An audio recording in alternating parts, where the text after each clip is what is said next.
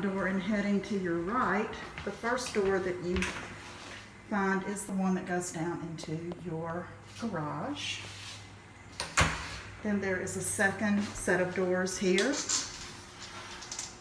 that have this huge closet. Now, if you want to, you could move your washer and dryer from in the garage to inside the house and place them in that closet.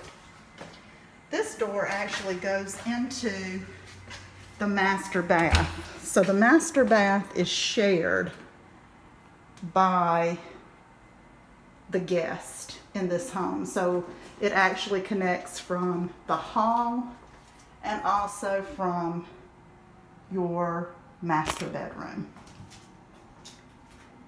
And behind here is a tub shower combo in your master.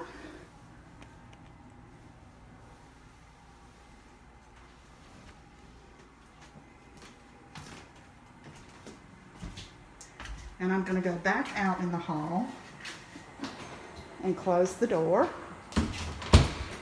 And again, looking back down the hall, the furthest room is the living room, your little foyer, and then your closet here where you could possibly move your washer and dryer upstairs into the main home.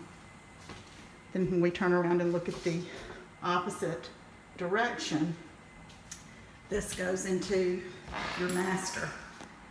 And there are two large closets in your master, both of them walk-ins.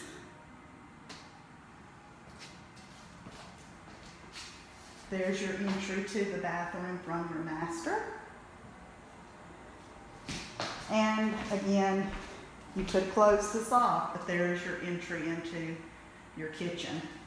It does have a pocket door. You could easily just keep it closed.